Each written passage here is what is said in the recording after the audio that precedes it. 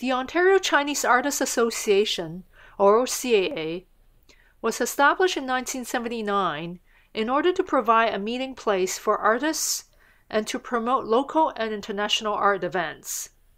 Its first location was on Lippincott Street in downtown Toronto. In 1982, OCAA was registered as a nonprofit organization. The first permanent gallery was purchased in 1996 with a generous grant from the Ontario government. It was located near the Art Gallery of Ontario in downtown Toronto. Due to urban sprawl, it moved yet again to its current location at Midland Avenue on the edge of Scarborough and Markham. Each year, OCAA curates more than 30 art exhibits and provides a workshop space for local artists and learners alike. At present, OCAA has over 400 members. Many are immigrants. They come from all walks of life. Some are engineers, some are teachers, some are poets, some are accountants. They gather at OCAA while coming from different artistic backgrounds they share the same passion in the arts. Chinese arts come in many different flavors. These are some of the artwork by our members.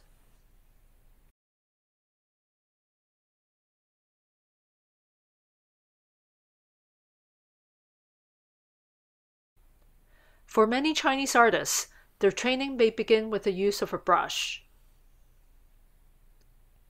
And the brush strokes became the basic building block for both language and painting.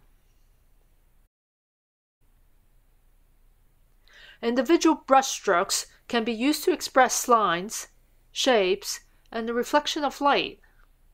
The use of strokes happens to be a feature of the Chinese writing system as well, to express a sound, a shape, or a concept. This is a feature unique in Chinese culture not shared by many other cultures. 金文将将旧嘅文字啊嘅好似嘅象形文字，我哋写写抽象画。Because the brushstrokes are often used as an artistic building block, there is much room for common ground building and intercultural exchange. For our artists, many use it as a bridge for other techniques or subject matters. Of course, some employ the Western techniques entirely. Being in Canada provides the fertile environment for that. 而家咧，佢可以话系用咗西洋油画嘅画法嚟到画山水，例如呢张咁就系你见到油画个味好重嘅。 虽然有油画味，但系仍然一睇知道就系中国画，系国画。原因系点咧？原因佢仍然用笔笔墨，佢冇唔爱笔墨。Like the artists in the show, many of our members are seniors, and yet they don't let their age reduce the vitality of the tradition or their passion. OCAA considers it an important role to pass on the Chinese traditions along with the passion and the arts to the next generation and to the Canadian public. The artistic endeavor often begins with a spark on the artist's mind.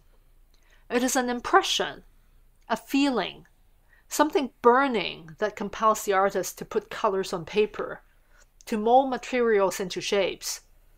That color, that stroke, that shape, the spark lifts on, when the time is right, the spark turns into a fire that burns bright in the viewer's mind.